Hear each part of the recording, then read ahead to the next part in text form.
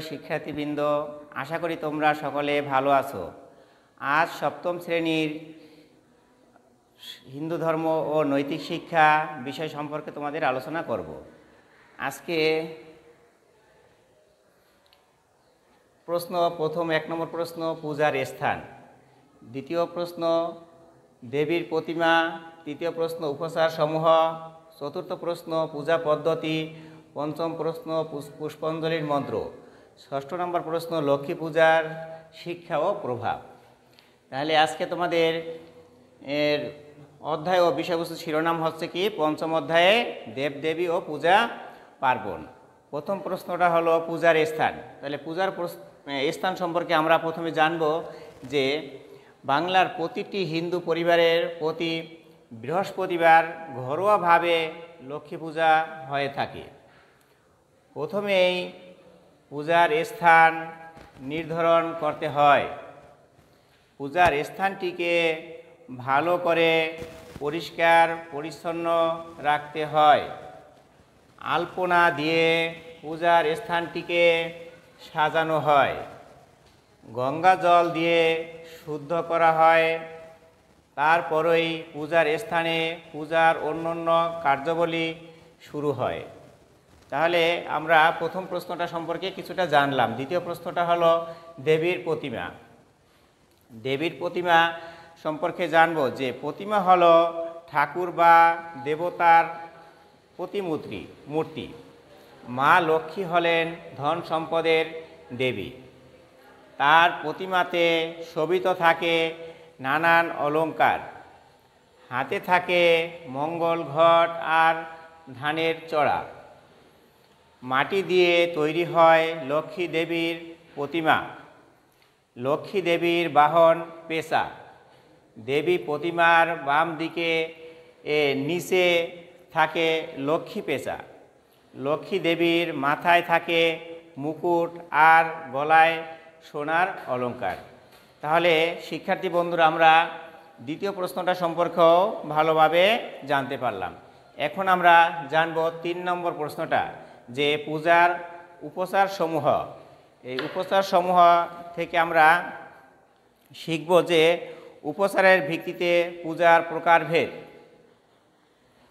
সাকার রূপে দেব দেবীর পূজা বিভিন্ন উপচার অনুসারে বিভিন্নভাবে করা যেতে পারে। প্রথম হলো পঞ্চপচার পূজা। উপচার শব্দের অর্থ উপকরণ। পঞ্চপচার পূজা, পাঁচটি উপকরণের মাধ্যমে করা হয়। যেমন গন্ধ, পুষ্প, ধূপ, দীপ ও নৈবেদ্য। এ পাঁচটি পঞ্চপচার পূজার উপকরণ।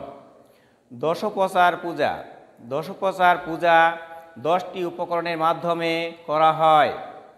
যেমন পাদ্য, অর্ঘ্য, আসমনীয়, মধুপর্ক, পুরা পুনরা স মনীয় গন্ধ, পুষ্প, ধূপ, দীপ ও নৈবেদ্য।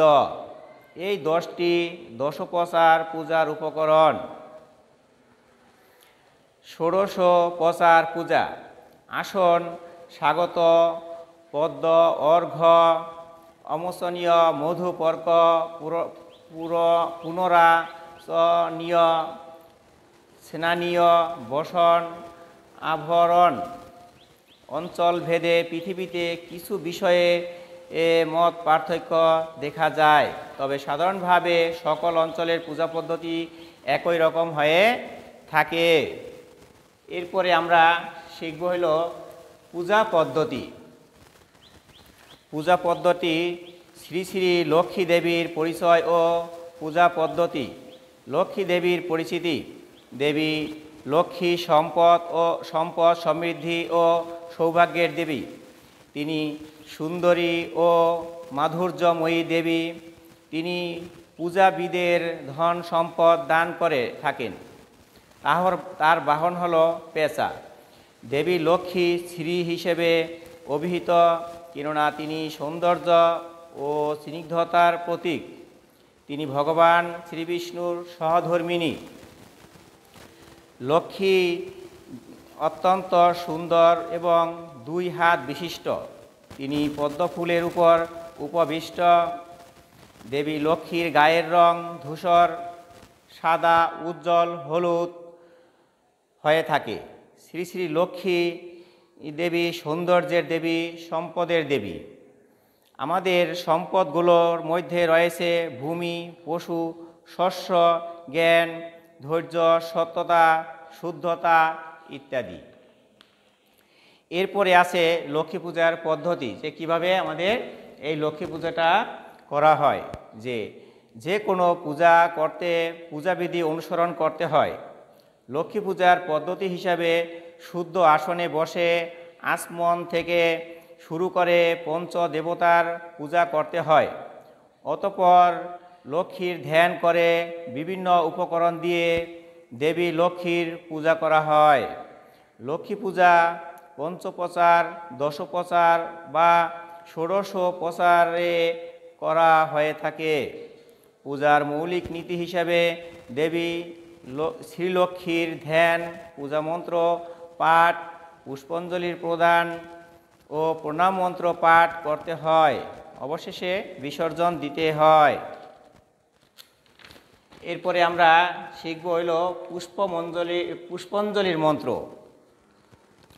পুষ্পাঞ্জলির মন্ত্র হচ্ছে, এস সচন্দন দুর্বা পুষ্প বিল্ল পত্রাঞ্জলি, ওং শিল্পবতে শ্রী বিশ্বকর্মণে নম।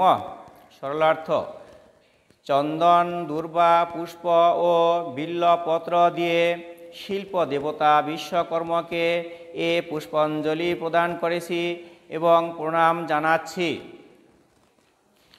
এরপরে আমরা দেখব হলো লক্ষ্মী, ছয় নম্বর প্রশ্ন, লক্ষ্মী পূজার শিক্ষা ও প্রভাব।